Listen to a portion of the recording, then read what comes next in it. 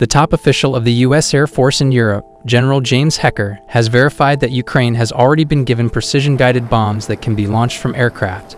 As reported by Warzone, General Hecker affirmed that he was referring specifically to the Joint Direct Attack Munition Extended Range, or JDAM-ER precision guided bombs made by Boeing Co., confirming previous report from Bloomberg. According to General Hecker, the air-launched JDAM-ER precision-guided bombs were delivered to Ukraine approximately three weeks ago, and some speculate that the Ukrainian military has already begun using a small quantity of this advanced munitions against Russian forces. The JDAM is a type of guided air-to-surface weapon that can carry different warheads ranging from 500 pounds to 2,000 pounds, including the BLU-109 hard target penetrator, the Mark 84 BLU-117, the Mark 83 BLU-110, or the Mark 82 BLU-111 BLU-126. It is typically between 9.9 to 12.75 feet long, has a wingspan of 19.6 to 25 inches, and can be fired from 15 nautical miles away with an accuracy of between 23 to 43 feet. The typical JDAMs utilize a mix of GPS and INS guidance along with an autopilot to control the course of the bomb using adjustable tail fins. On the other hand, the complete JDAM guidance tail kit adds aerodynamic surfaces to existing unguided freefall bombs, which also includes an INS and a GPS guidance control unit. This enables the bomb to be released after ignition, allowing for precise targeting of fixed and relocatable targets. The JDAM also allows for multiple weapon releases against single or multiple targets in a single pass. When using JDAMs, the target coordinates can be programmed into the aircraft before takeoff or modified by the aircrew during flight. Target coordinates can also be entered via a target designation data link from onboard sensors such as Litening II or sniper targeting pods.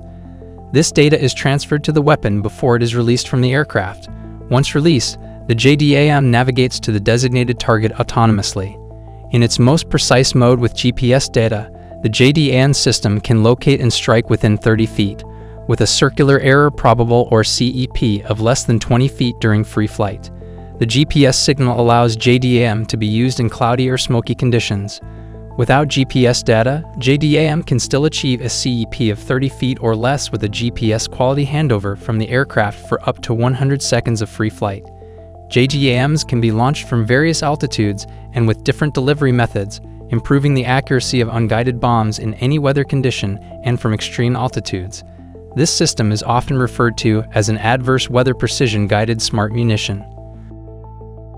What sets JDAM apart is its ability to resist GPS jamming equipment, which is usually able to interfere with or block GPS signals. This is because of the sequential tracking and software corrections built into the JDAM system, which allow the bombs to switch to inertial navigation if the GPS signal is disrupted. This means that jamming is only effective at the last stages of the JDAM's trajectory, when it is almost on target. So what makes JDAM and JDAM-ER different?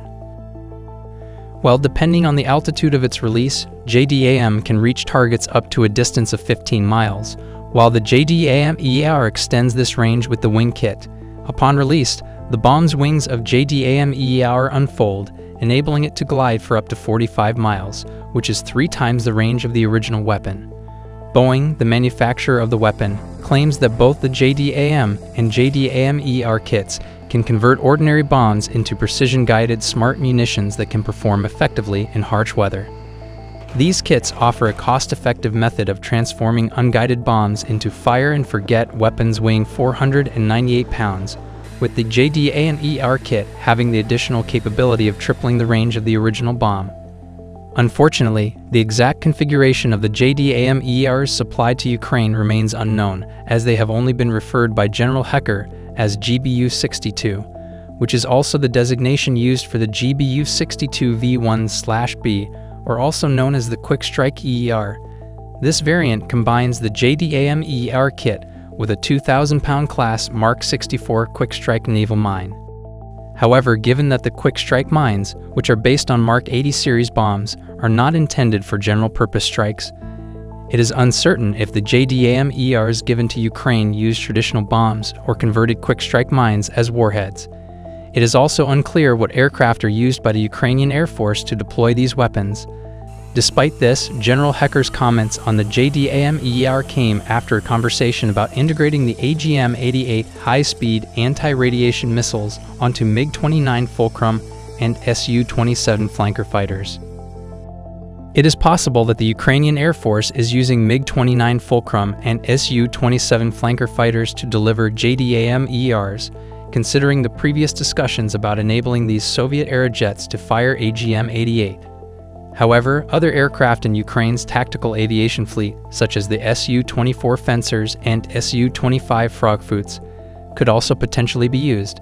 It should be noted that according to General Hecker, Ukraine's supply of JDAM-ERs is limited, only enough for a few strikes. The JDAM guidance system, along with the bomb, costs less than $30,000, which is significantly cheaper than weapons like cruise missiles that can cost over a million dollars. Despite the lower cost, JDAM can hit its target with great precision, and the value of the destroyed target could be over 100 times the cost of JDAM. This makes JDAM an advantageous option for the warfighters due to its favorable cost exchange ratio. The JDAM air kits are being provided to Kiev as part of the U.S.'s security aid since February 24, 2022, when Russian troops entered Ukraine. According to data from the Defense Department as reported by Newsweek, the total amount of aid provided by the U.S. is approximately $32.2 billion. However, the data on security aid does not specifically mention the JDAM-ER kits, but it does refer to precision aerial munitions. Newsweek stated that a $1.85 billion U.S. military aid package for Ukraine would contain precision aerial munitions, the quantity of which was not disclosed.